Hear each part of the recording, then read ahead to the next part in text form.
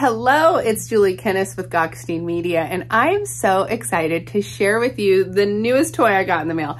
This is my Bitkey hardware wallet. So if you're not familiar with Bitkey, Bitkey is by Block Inc., which is Jack Dorsey's company. So when I saw this, I immediately wanted to jump in and try it because I knew that Jack Dorsey was going to put just so much detail into this product, and it does not disappoint at all.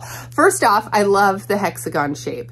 This just just is synonymous with blockchain for me. And so I loved it as soon as I opened it and saw the hexagon shape. You pull it out, it's gold, it's marble, it has thumbprint capabilities. Security, oh, the little light just turned on. I'm like, oh, it's like, hello, you're there. I got all of my Bitcoin loaded on here. Uh, what I really like about this is this is a great device for beginners to self-custody. And the reason I say that is because self-custody can be a little scary. We all feel comfortable with central exchanges, but if you've been in crypto long enough, you know that the central exchange is bound to fail you at some point. Self-custody is the only way. And so this Bitkey allows you to set up a secondary emergency contact person who can help you get into the wallet if you need. And then in addition to that, you can have uh, an emergency recovery kit. If something happens and you're unable to find your phone and you're unable to get back into the device,